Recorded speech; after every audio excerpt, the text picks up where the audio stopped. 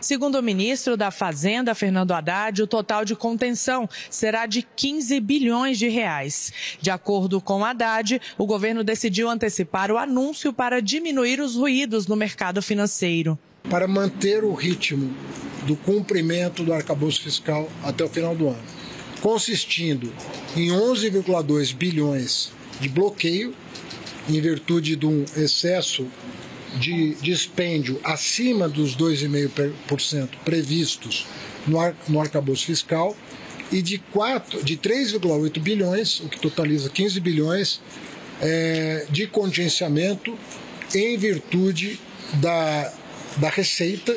Essas informações seriam prestadas no dia 22. Nós estamos antecipando justamente para evitar especulação. Tanto o contingenciamento como o bloqueio representam cortes temporários de gastos. O bloqueio é uma medida para adaptar as regras do arcabouço fiscal, que determina que os gastos obrigatórios só podem crescer até 2,5% ao ano, já descontada a inflação. Já o contingenciamento acontece quando há frustração de receitas, ou seja, se o país arrecada menos do que o previsto. A decisão foi tomada na reunião da Junta de Execução Orçamentária com a presença do presidente Lula. De acordo com o governo, as medidas são necessárias para equilibrar as contas públicas e cumprir a meta fiscal, que é de déficit zero em 2024. Então, no dia 22, a área econômica vai detalhar tanto do ponto de vista de receita quanto do ponto de vista de despesa, o que aconteceu para que essa decisão fosse tomada.